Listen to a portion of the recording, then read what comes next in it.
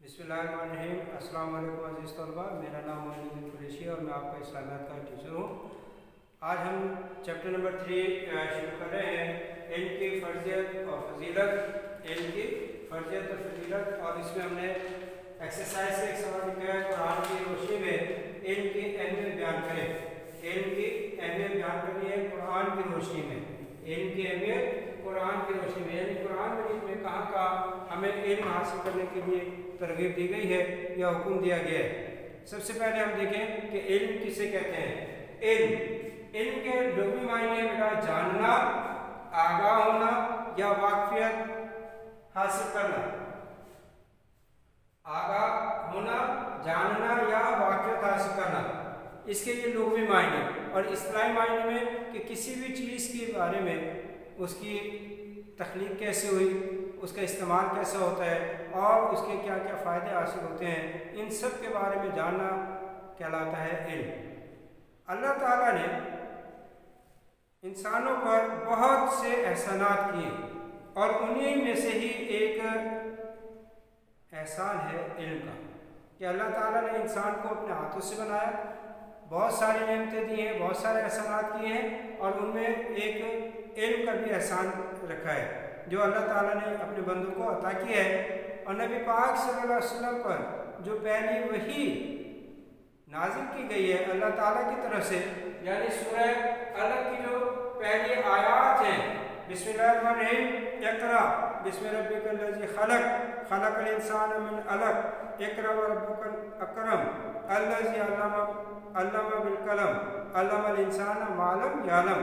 कि अपने परवरदिगार का नाम लेकर पढ़िए, जिसने पैदा किया, जिसने इंसान को खून की फुटकी से बनाया। पढ़िए, और आपका परवरदिगार बड़ा करीम है। जिसने कलम के ज़रिए इल्म सिखाया, और इंसान को वो बातें सिखाई जिस, जिनका उसको इल्म ना था। ये जो आयात है सूर्य की, ये इल्म की फजीलत को जो है बयान कर रही है कि अल्लाह ताला ने आप को सबसे पहले इल्म हासिल करने के लिए कहा, हुक्म दिया और इसके साथ साथ इंसान को जो फजीलत दी है तमाम मखलूक़ात पर, इसी वजह से, इल्म की वजह से। और उसको अशरफ मखलूक़ात कहा कि इंसान अशरफ मखलूक़ात है, तमाम मखलूक़ात में अफजल है और इसकी फजीलत किस पर है? इल्म से। क्योंकि अल्लाह ताला ने बहुत सारे मखलूक़ात बनाई हैं। इनमें ताकतवर चीज़ें भी हैं, ताकतवर जानवर भी हैं। बहुत लंबे लंबे कद के इंसान भी गुजरे। लेकिन अल्लाह ताला ने किसी को जो ताकत दी है या इल्म दी है, वो इस इल्म की बिना पर इसको फजीलत दी है कि अल्लाह ताला का ये जो हाथ से बनाया हुआ इंसान है, ये इल्म हासिल करता है। इसके पास इल्म है। इसी तरह बेटा, कुरान मजीद में बहुत सारी और आयात हैं, जिनमें ये एक बहुत मशहूर आयत है जो आप, हम पढ़ते भी हैं, याद भी रखते हैं। कुल रब जितनी इल्मा, कुल रब जितनी इल्मा, ये आप सल्लल्लाहु अलैहि वसल्लम को सिखाई गई। अल्लाह ताला की तरफ़ से कि, ए मेरे रब, मेरे इल्म में इजाफा फरमा। यानी आप वसल्लम को हुक्म दिया गया कि आप अपने इल्म में इजाफे की दुआ कीजिए। कुल रब जितने? इल्मा। कह दीजिए कि, ए मेरे रब, मेरे इल्म में इजाफा फरमा। और इसी तरह, आगे ये सूरह फातिर की आयत लिखी हुई है। सूरह फातिर की आयत है इन्नमा यक्षल्लामा अल्लाह के बंदों में से अहले इल्म ही अल्लाह से डरते हैं। यानी अल्लाह से डरने वाले लोग कौन हैं? जो अहले इल्म हैं, जो अल्लाह ताला की पहचान रखते हैं, उसकी शनाख्त रखते हैं। और जो अल्लाह ताला को पहचान लेता है, वो उसकी बंदगी करता है, उससे डरता है और खशियत इख्तियार करता है। इसी तरह आगे एक आयत है सूरह मुजादला की सूरह मुजादला में इरशाद हुआ। यरफलाहु यरफाइल्लाहुल्लज़ीना आमनु मिनकुम वल्लज़ीना ऊतुल इल्मा दराजात। यानी तुम में से जो लोग ईमान लाए और जिन्हें इल्म दिया गया, अल्लाह उनके दर्जात बुलंद फरमाएगा।